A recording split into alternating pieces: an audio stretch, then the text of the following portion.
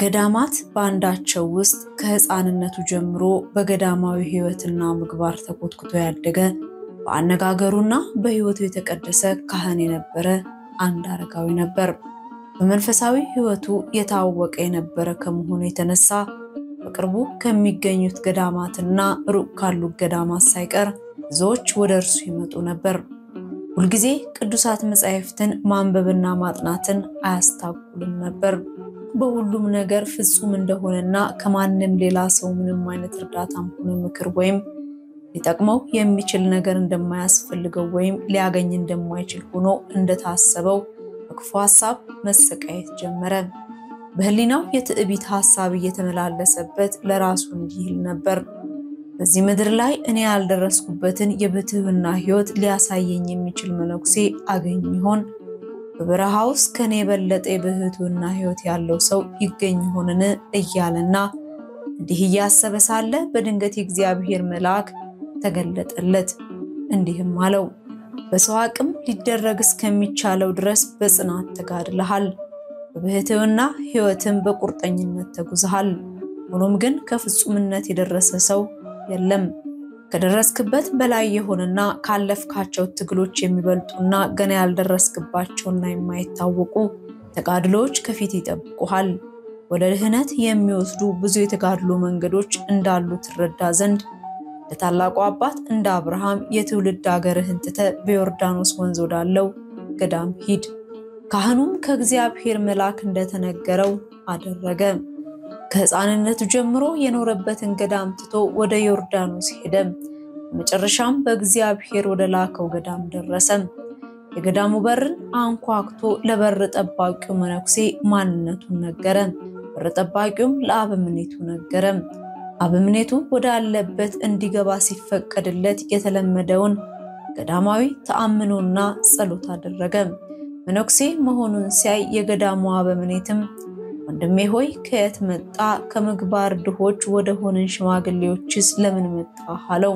ካህኑም ከየት እንደመጣሁ መናገር አያስፈልግም፣ ነገር ግን አባቴ ሆይ እኔ የመጣሁት መንፈሳዊ መቁኔትን ፈልጌ ነው። ለሰዎች የእግዚአብሔርን መንገድ በማሳየትና ነፍሳትን ወደ እግዚአብሔር በማቅረብ ያላችሁን ታላቅ መንፈሳዊ ጥበብ ሰምቻለሁና ስለዚህ ወደ እናንተ መጣው በማለት መለሰ። የገዳሙ አበምኔትም እንዲህ አለው፣ ወንድሜ ሆይ የነፍስን ቁስል ሊፈውስ የሚችለው እግዚአብሔር ብቻ ነው። አንተም እኛንም መንገዱን ያስተምረንና ይመራን ዘንድ ፈቃዱ ይሁንልን።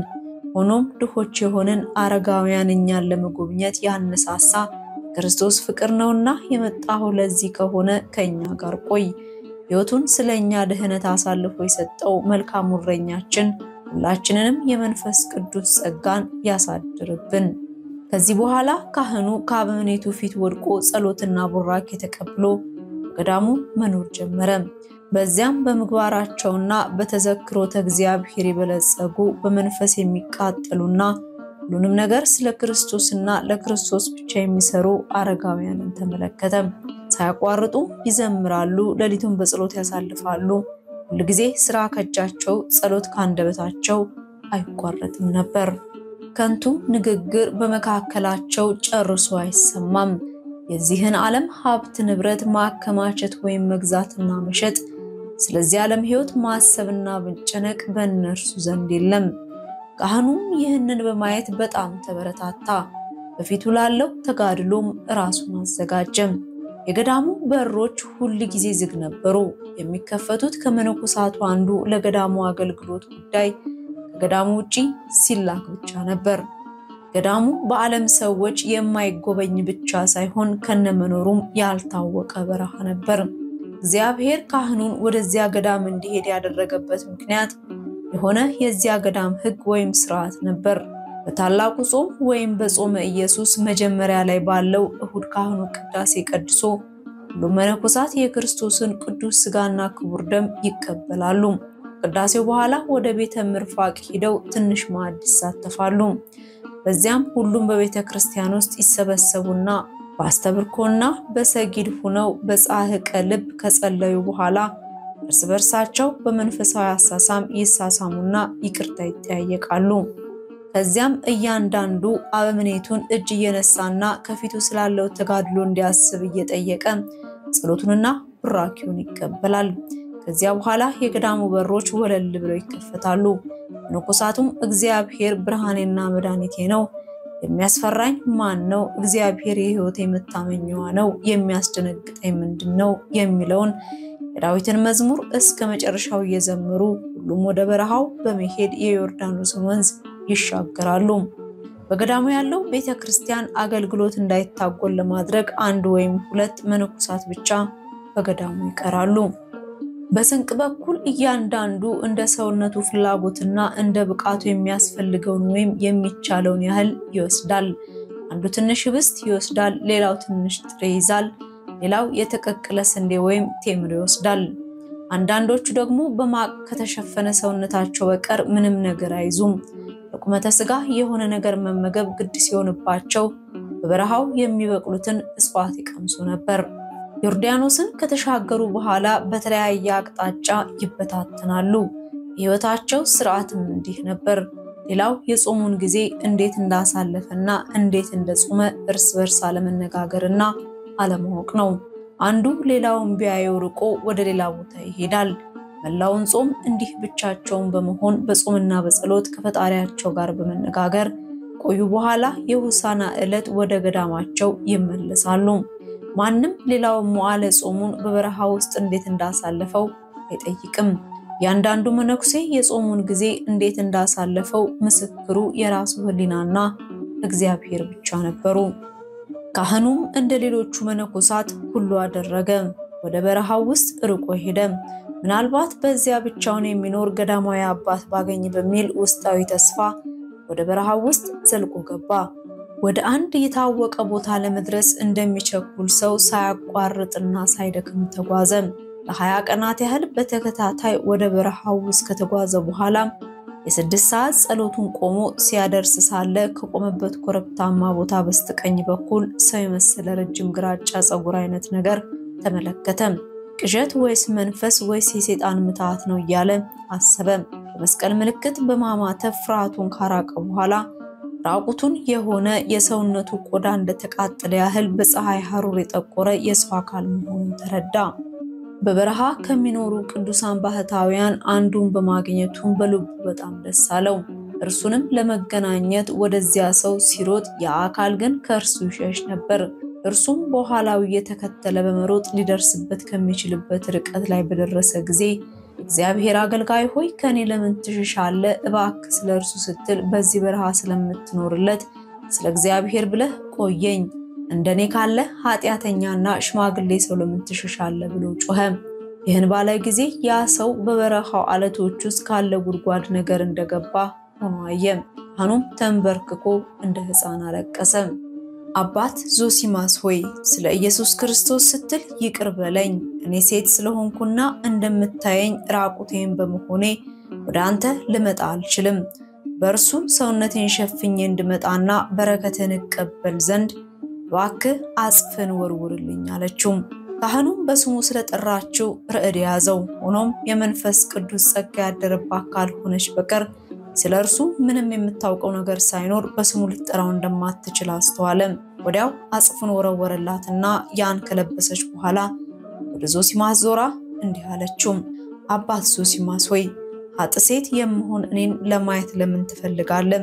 ከመንፈሳዊ ተጋድሎ ወደ ኋላ የማትል አንተ ከኔም ለመስማትና ለመማር ትፈልጋለህ። ዞሲማስም መሬት ላይ ወድቆ ትባርከው ዘንድ ለመናት። እርሷም እንዲህ ከፊቱ ወደቀች። አንዱ የሌላውን ቡራኬ በመጠየቅ ሁለቱም መሬት ላይ ወደቁ። እርሱም እርሷን ባርኪኝ ይላታል፣ እርሷም እርሱን ባርከኝ ትለዋለች። ከሁለቱም የሚሰማው ባርከኝ ባርኪኝ የሚለው አንድ አይነት ቃል ብቻ ነበር። እንዲያ እየተባባሉ ብዙ ከቆዩ በኋላ እርሷ ዞሲማስን አባት ዞሲማስ ሆይ አንተ ካህን ስለሆንክና ብዙ ጊዜ ቅዱስ ቁርባንን ስታሳርግ የኖርክ ስለሆነ መባረክ የሚገባህ አንተን አለችው። ይህ ግን ዞሲማስን ወደ በለጠ ፍርሃትና መደነቅ ወሰደው ካህን መሆኑን በማወቋ። እርሱ ግን በእንባ ሆኖ እንዲህ አላት፣ መንፈስ ቅዱስ የመላብሽና የከበርሽ ቅድስት እናት ሆይ አንቺ ከእግዚአብሔር ጋር እንደምትኖሪና ለዓለም የሞትሽ እንደሆንሽ ሕይወትሽ ግልጽ ሆኖ ይታያል። ከዚህ በፊት ሳታየኝና ሳታውቂኝ በስሜ ጠርተሽኛልና ካህን መሆኔንም አውቀሻልና እግዚአብሔር የሚያስደንቅ ጸጋ ሰጥቶሻል። ጸጋ የሚያድረውና በረከት የሚሰጠው በማንም ትእዛዝ ወይንም በሰው ቃል ሳይሆን በመንፈስ ቅዱስ ፈቃድ ነው። ስለዚህም ስለ እግዚአብሔር ብለሽ ቡራኬሽን ስጪኝ፣ ጸሎትሽን እፈልጋለሁና አላት። እንዲህ እያለ በልመና በተናገረ ጊዜ የአረጋዊውን ፈቃድ ለመፈጸም ስትል ለሰዎች ሕይወትና ለነፍሳቸው ደህንነት የሚያስብና የሚጠነቀቅ እግዚአብሔር የተመሰገነ ይሁን አለች። እርሱም አሜን አለ። ከዚያም ሁለቱም ተነሱ። እርሷም እንዲህ የተራቆተችና ከምግባር ድሃ የሆነችን ሴት ለምን ለማየት ትፈልጋለህ? ሆኖም የመንፈስ ቅዱስ ጸጋ ለእኔ የሚያስፈልገኝን አገልግሎት ታደርግልኝ ዘንድ በትክክለኛው ጊዜ እንዳመጣ ይህንን አንድ ነገር አውቃለሁ። አባት ሆይ እስኪ ንገረኝ፣ ሕዝበ ክርስቲያኑ እንዴት ይኖራሉ? ነገስታቱስ? ቤተ ክርስቲያንስ እንዴት እየተመራች ነው? አለችው። ቅዱስ ዞሲማስም ቅድስት እናት ሆይ በአንቺ ጸሎት ክርስቶስ ለሁሉም ሰላም ሰጥቷል። እኔም አንቺ ስለ ዓለም ሁሉ ትጸልይ ዘንድ ስለ እኔ ስለ ኃጢአቱም ትጸልይ ዘንድ እማልድሻለሁ አላት። እርሷም ካህን የሆንከው አንተ ለእኔና ለሁሉም ጸልይ፣ ሆኖም ታዛዥ መሆን ያስፈልጋልና ያዘዝከኝን በደስታ ፈጽማለሁ አለችው። ከዚያም ፊቷን ወደ ምስራቅ አዙራ ዓይኖቿን ወደ ሰማይ አቅንታ እጆቿን ዘርግታ ለረጅም ጊዜ መጸለይ ጀመረች። ይህ የመንፈስ ቅዱስ ስራ ነው። ከዚህ ዓለም ፈጽመው ርቀው በበረሃ ያሉት ማንንም የማያዩትና ማንም የማያያቸው ባህታውያን እንኳን የዓለምን ደህንነት በፍጹም ልባቸው ይናፍቃሉ፣ ይጸልያሉ። ምንም እንኳን በበረሃ ብቻዋን ብትሆን ከቤተ ክርስቲያን ግን አልተለየችም። ለሁሉም ወገኖቿ ምሕረትን የምትጠይቅ ሕያውት የቤተ ክርስቲያን አባል ናት እንጂ። ስትጸልይም በለሆሳስ ስለነበር ከአንደበቷ ቃል ሲወጣ አይሰማውም ነበር። ስለዚህም ስትጸልይ ምን እንዳለች ዞሲማስ ምንም ነገር መስማትና መረዳት አልተቻለውም። እርሱም ራሱን ወደ መሬት አቀርቅሮ ምንም ቃል ሳይናገር ተነስቶ ቆመ። ጸሎቷ በጣም ብዙ ጊዜ የወሰደ ረጅም ሆኖ በተሰማው ጊዜ ዓይኖቹን ቀና አድርጎ ሲመለከታት ስትጸልይ እንደሚበር ፍጡር እግሯ አንድ ክንድ ያህል ከመሬት በላይ ሆኖ በአየር ላይ ሆና ስትጸልይ አያት። ይህንን ሲያይ የበለጠ ፍርሃትና ረዓድ ተሰማው። ያለቀሰና ደጋግሞ ፈጣሪ ሆይ ማረኝ እያለ መሬት ላይ ወደቀ። መሬት ላይ ወድቆ እያለ ምናልባት መንፈስ እንዳትሆን ብሎ ተጠራጠረ። በዚያን ጊዜ ወደ እርሱ መታ አነሳችውና አባት ዞሲማስ ሆይ ስለ እኔ ሕሊናህ ለምን ያስጨንቅሃል? ቅዱስ አባት ሆይ እኔ ሀጥ ሴት ብቻ መሆኔን ተረዳ። የተቀደሰ ጥምቀት የከበርኩ ብሆንም እኔ ግን መንፈስ ሳልሆን አፈርና ትቢያ ነኝ፣ ስጋዊትም ነኝ አለችው። ከዚያም እግዚአብሔር ከሰይጣንና ከወጥመዱ ይጠብቀን፣ እርሱ ከእኛ ጋር ያለው ጦርነት ጽኑ ነውና ብላ መስቀል ምልክት አማተበች። ይህንን አይቶና ሰምቶ እግሯ ላይ በመውደቅ እንዴት ወደ በረሃው እንደመጣች ታሪኳን እንድትነግረው ለመናት። ስለ ክርስቶስ ብለሽ አትደብቂኝ።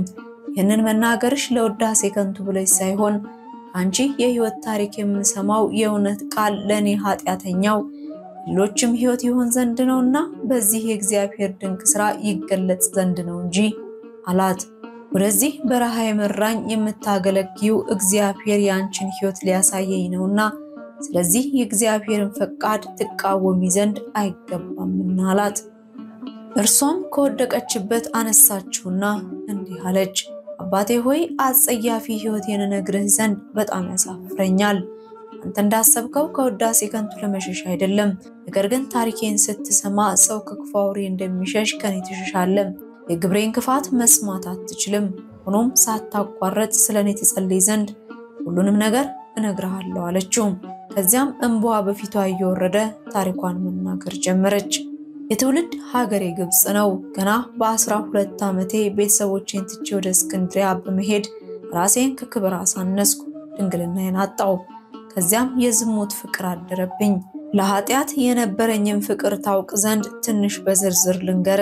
ለ17 ዓመት ያህል ይቅርታ አድርግልኝና ሰዎችን የሚያቃጥል የኃጢአት እሳት ሆኜ ኖርክ። ብዙዎችን አሳትኩ። ገንዘብ እንኳን እንስጥሽ ሲሉኝ ገንዘቡን አልቀበልም ነበር፣ በእግዚአብሔርም አላምንም ነበር። ነገር ግን እንደፈለግኩ አደርጋለሁ፣ ማንም አይከለክለኝም ብል ነበር።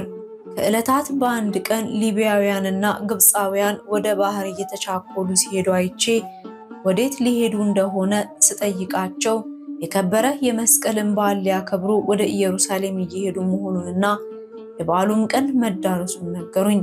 በዚያን ጊዜ እኔም ብዙ ወዳጆችን አገኝ ዘንድ አብሬያቸው ልሄድ ወሰንኩኝ። ለጉዞውም ሆነ ለምግብ የምከፍለው ገንዘብ አልነበረኝም። ግን ሰውነቴ አሳስቷቸው በዚያም ብዙዎችን አጠመድኩ።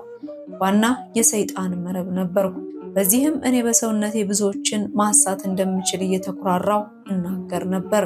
የኃጢአተኛውን ሞት የማይወድ እግዚአብሔር መመለሴን እየጠበቀ የታገሰኝ ይመስለኛል። በመጨረሻም ኢየሩሳሌም ደረስን። ከበዓሉ በፊት የነበሩትን ጥቂት ቀናትም በከተማ ውስጥ እንዲሁ አይነት ከበፊቱም የባሰ አጸያፊ ሕይወት በመኖር አሳለፉ። በበዓሉ ቀን ጠዋት በጣም ብዙ ተሳላሚዎች በጌታችን መቃብር ላይ ወደ ተሰራችው ቤተ ክርስቲያን ሲሄዱ አየው። እኔም ሄደው እዚያ ምን እንደሚያደርጉ ላይ ወደድኩኝ። በበሩ እየተጨናነቁ ሊያልፉ ከሚሞክሩት ብዙ ሰዎች ጋር እኔም አብሬ ሞከርኩ። ነገር ግን በድንገት የሆነ ኃይል ከበሩ ወደኋላ ሲገፋኝ ታወቀኝ። ሌሎች ሰዎች ሁሉም በቀላሉ ይገባሉ፣ እኔ ግን አልቻልኩም። የሆነ ኃይል እንዳልገባ ወደኋላ ገፋኝ። መጀመሪያ በውስጥ የሳኩ ስለደከመኝ ወይም ሴት በመሆን ደካማ ስለሆንኩ ይሆናል ብዬ አሰብኩ። ሌሎች ያለምንም ችግር ወደ ቤተ ክርስቲያን ወደሚገቡበት በር እንደገና ሄድኩ። ለመግባት የምችለውን ያህል ሞከርኩ። ሆኖም አሁንም እንደ በፊቱ ባለ ኃይል ምክንያት መግባት አልቻልኩም። በሩ ላይ ቆምኩኝ። እንደገና ለሶስትና ለአራት ጊዜ ከሞከርኩ በኋላ ኃይል ያለቀ። እልፍ ብዬ ሄጄ በበሩ አጠገብ ቆምኩ። በህሊናዬ ነገሩ በጭንቅ ተረዳኝ። ቅዱስ መስቀሉን ገብቼ ከማየት ለምን እንደተከለከልኩ ምክንያቱን ማሰብና መረዳት ጀመርኩ። የደህንነት ቃል የልቦናዬን አይኖች ነካኝ። እንዳልገባ የከለከለኝ የራሴ የተበላሸ ህይወት መሆኑን ግልጥ አድርጎ አሳየኝ። በማልቀስና ደረቴን እየደቃው ከውስጣዊ ልቤ ማዘን ጀመርኩ። ለምን አልገባም? እንዳልገባ የከለከለኝ የኃጢአቴ ብዛት ነውን? አልኩኝ። ያን ጊዜ የእመቤታችን የቅድስት ድንግል ማርያምን ስዕል ከበሩ ላይ አየው። የእርሷን ስዕለ ገጽ ግርማና ውበት ባየው ጊዜ ያለፈ ኃጢአቴ ከፊቴ ወለል ብሎ ታየኝ። ራሴ አፈርኩኝ፣ በደሌም አሰቃየኝ። ከዚያም ከእመቤታችን ስዕል ስር ወድቄ ጌታዬንና መድኃኒቴን ለመከተልና ለማገልገል ለዕድል አገኝ ዘንድ ተማጸንኩኝ። መድኃኔ ዓለም ኢየሱስ ክርስቶስ እንዲያድነኝና በመንገዱ እንዲመራ የለመንኩት። ቅዱስ መስቀሉን ካየው በኋላ ወዲያውኑ ዓለምንና ደስታዋን በሙሉ እንደምክድና እርሱ ወደሚመራኝ ለመሄድ ቃል ገባው። ከጸለይኩ በኋላ የመተማመን መንፈስ ተሰማኝ። ቆምኩበትና ከጸለይኩበት ቦታ ተነስቼ ከሚሄደው ተሳላሚ ጋር ተቀላቀልኩ።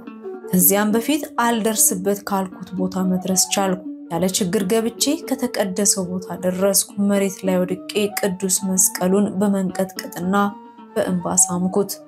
እግዚአብሔር ምስጢርና ንስሐን እንዴት እንደሚቀበል አየው። የቆምኩበትን መሬቱን ሳምኩ። እስከ እኩለ ቀን ድረስ ራሴን ረሳው። ከዚያም ከቤተ ክርስቲያን ወጥቼ ቃል ከገባሁባት ከዚያች እመቤታችን ስዕል ስር ሆኜ የኃጢአተኛን ንስሐ በአንቺ አማላጅነት የሚቀበል እግዚአብሔር የተመሰገነ ይሁን።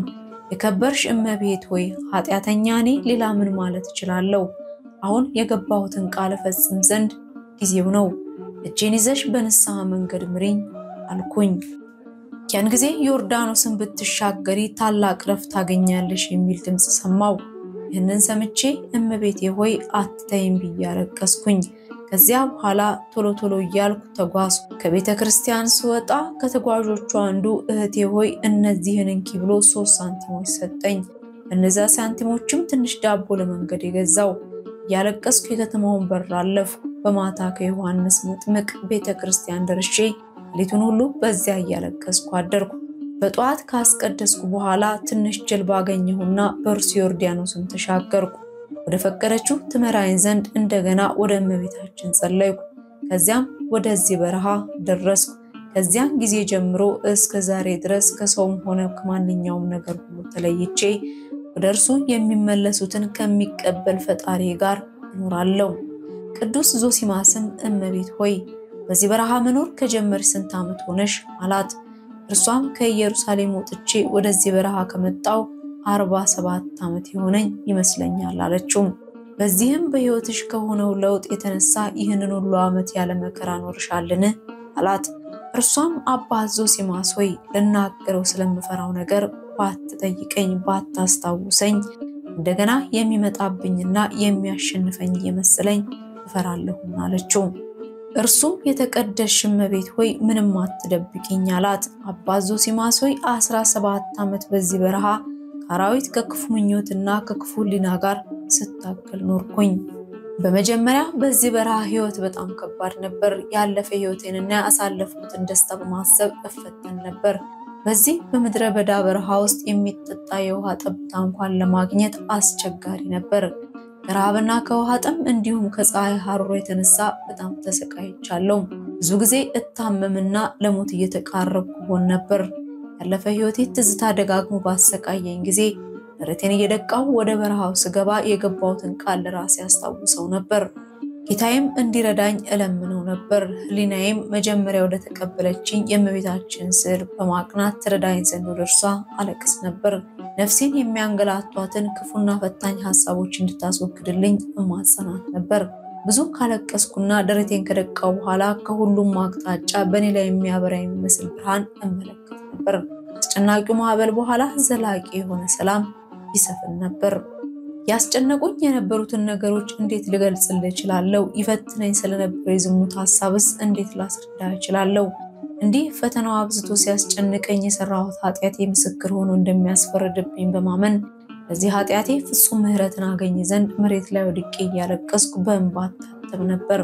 የሚያረጋጋና ደስ የሚል ብርሃን መጥቶ እስኪያበረታታኝና የሚያስጨንቁኝ ሀሳቦች ሁሉን እስከሚያባረራቸው ድረስ ከመሬት ላይ አልነሳም ነበር። አንዳንዴም አንድ ቀንና አንድ ሌሊት ሙሉ መሬት ላይ እንደወደኩ ቆያለሁ። ሁልጊዜ የሕሊናዬን ዓይኖች ወደምትጠብቀኝ ወደ እመቤታችን በመመለስ በበረሃው ሞገድ ውስጥ እየተጨነቀች ላለችው ፍጥረት እጇን ትዘረጋ ዘንድ እለምናት ነበር። እርሷም ሁልጊዜ ትረዳኝና ትቀበለኝ ነበር። አስራ ሰባት ዓመታት ያህል እንዲህ ባለ ቋሚ በሆነ መከራና ፈተና ውስጥ ኖርኩ። ከዚህ ጊዜ ጀምሮ ዛሬም ድረስ ወላዲተ አምላክ በሁሉም ነገር ትረዳኛለች። ልክ እጅን ይዞ እንደ መምራት ያህል ትምራኛለች። ቅዱስ ዞሲማስም ምግብና ልብስ አያስፈልግሽም ነበርን? አላት። እርሷም እንዲህ አለች፣ ከኢየሩሳሌም ከተማ ስወጣ በሶስት ሳንቲም የገዛኋቸው ዳቦዎችን ከጨረስኩ በኋላ 17 ዓመት ያህል ቅጠላቅጠልና በበረሃ የሚገኘውን ነገር እመገብ ነበር። ዮርዳኖስን ስሻገር የነበሩ ልብሶች አርጅተው አለቁ። በበረሃው በቀንና በሌሊት የሚፈራረቀው ከባድ ሙቀትና አስጨናቂ ቅዝቃዜ በጣም ተሰቃይቻለሁ። ቀን የፀሐዩ ሙቀት ሲያቃጥለኝ ከዋለ በኋላ ሌት ደግሞ ውርጩ ሲያሰቃየኝ እንደ ሞተ ሰው እስትንፋሴ ያልቆ መንቀሳቀስ አቅቶኝ መሬት ላይ እወድቅ ነበር። በአጠቃላይ ከብዙ ስቃይና ፈተና ጋር ታገልኩ። በአጠቃላይ ከብዙ ስቃይና ፈተና ጋር ታገልኩ። ሆኖም ከዚያን ጊዜ ጀምሮ የእግዚአብሔር ቸርነት ኃጢአተኛ የሆንኩ እኔን ከመከራ ሁሉ ጠብቆ ከዚያ አድርሶኛል። ጌታችን እኔን ከስንቱ አይነት ፈተናና ክፉ ነገር እንዳወጣኝና እንደታደገኝ ሳስብ ለደህነት ተስፋ የሚሆን የማይጠፋ ምግብ ይሆነኛል። ከሃሊ በሆነው የእግዚአብሔር ቃል እመገባለሁ እለብሳለሁም።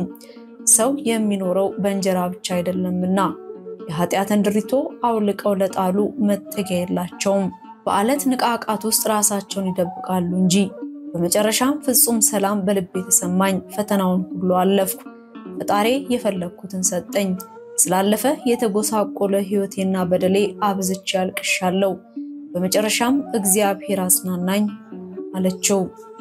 ቅዱስ ዞሲማስም በቅዱሳት መጻሕፍት ቃል ስትናገር ሲሰማ ቅዱሳት መጻሕፍትን ተምረሻልን? አላት። እርሷም በዚህ ጊዜ ፈገግ አለችና አባት ሆይ እመነኝ፣ የዮርዳኖስን ወንዝ ከተሻገርኩ ጀምሮ ዛሬ አንተን ሳይ ፈጽሞ የሰው ገጽ አይቼ አላውቅም፣ መጻሕፍትንም አልተማርኩም። ነገር ግን ሕያው የሆነ የእግዚአብሔር ቃል እውቀትን ሰጠኝ። እናም የእኔ ታሪክ ይህ ነው አለችው። ከመጀመሪያ እንደነገርኩ እኔ ኃጢአተኛ ነኝና ጸልየልኝ።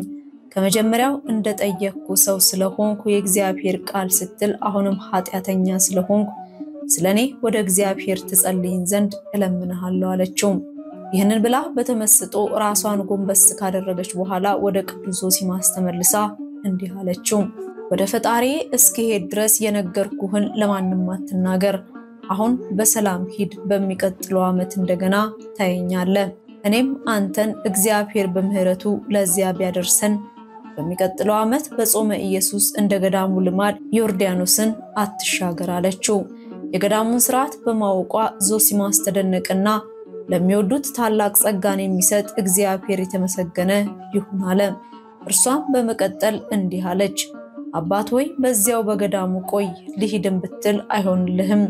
የጸሎተ ሐሙስ ዕለት ጌታችን ለደቀ መዛሙርቱ ቅዱስ ሚስጥሩን ባሳየበትና ባቀበለበት ዕለት በዮርዳኖስ ወንዝ ዳር ቅዱስ ቁርባንን ይዘህ ትጠብቀኝ ዘንድ እለምንሃለሁ። አንተ የምትኖርበትን ገዳም አበምኔት ዮሐንስን ራስህንና ወንድሞችህን ተመልከት፣ በገዳሙ ውስጥ ሊስተካከል የሚገባው ብዙ ነገር አለና በለው። ሆኖም ይህንን አሁን አትናገር፣ ጊዜው ሲደርስ እግዚአብሔር ሲያመለክትህ ነው እንጂ ብላው በበረሃው ውስጥ ተሰወረች። ቅዱስ ዞሲማስን በጉልበቱ ተንበርክኮ ቅድስት ማርያም ቆማበት በነበረው ቦታ ላይ ሰግዶ ይህንን ሁሉ ላሳየውና ላደረገለት ለፈጣሪው ምስጋና ቀረበ። በበረሃ ውስጥ ተጉዞ መነኮሳቱ ወደ ገዳማቸው በሚመለሱበት ዕለት እርሱም በዚያው ቀን ከገዳሙ ደረሰም። ያየውን ሁሉ ዓመቱን ሙሉ ለማንም ሳይናገር ኖረ። ሆኖም የዝችን ባህታዊት ገጽ ለማየት ሌላ ዕድል ይሰጠው ዘንድ እግዚአብሔርን በጸሎት ይለምን ነበር። ያ ዓመት ለቅዱስ ዞሲማስ በጣም ረዘመበት። ዓመቱ ቢቻል ኖሮ ወደ አንድ ቀን ቢያጥርለት ናፈቀ። ቀናት አልፈው አብይ ጾም ሲገባ እንደ ገዳሙ ስርዓት የገዳሙ መነኮሳት የሚያደርጉትን ጸሎት አድርሰው መዝሙር እየዘመሩ ሁሉም ወደ በረሃ ሄዱ። ቅዱስ ዞሲማስ ብቻ በጣም ስለታመመ ቀረ። ቅድስቲቷ መሄድ ብትፈልግም አትችልም ያለችውን አስታወሰም። ከብዙ ቀናት በኋላ ከህመሙ አገገመ። መነኮሳቱ ወደ ገዳማቸው ከተመለሱ በኋላ የጸሎተ ሐሙስ ዕለት እንደነገረችው የጌታችንንና የመድኃኒታችን የኢየሱስ ክርስቶስ ቅዱስ ሥጋና ክቡር ደም ይዞ እንዲሁም ትንሽ ተምርና የተቀቀለ ምስር ይዞ በነገረችው ቦታ በዮርዳኖስ ወንዝ ዳርቻ ሄዶ የዚችን ቅድስት መምጣት እየጠበቀ ተቀመጠ።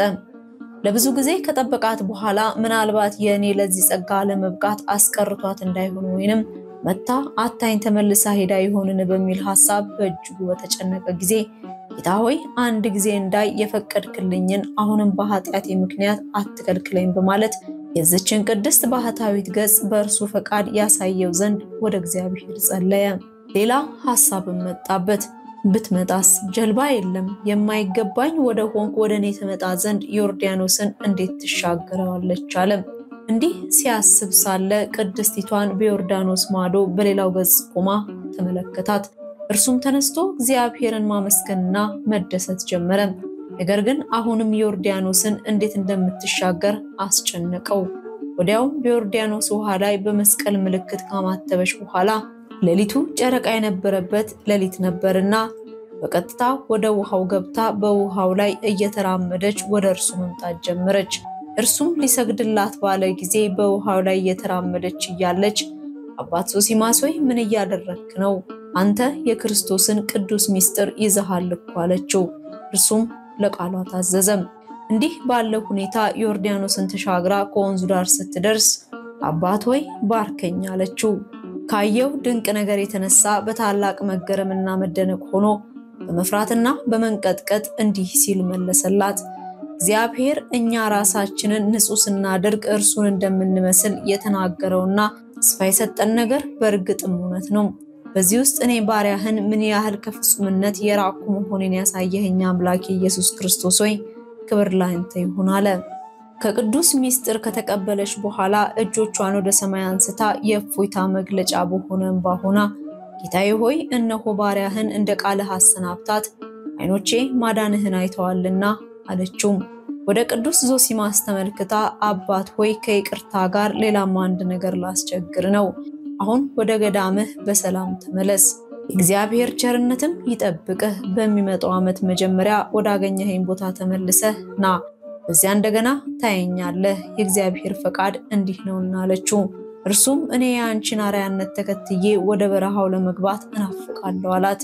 ከዚያም ያመጣላትን ትንሽ የሚቀመስ ነገር እንድትቀምስ ጠይቃት። እርሷም ምስሩን በጣቶቿ ጫፍ ነካችና ሶስት ፍሬዎችን ወስዳ በአፏ አደረገችና የእግዚአብሔር ጸጋ ነፍስን በንጽህና ለመጠበቅ በቂ ነው አለች።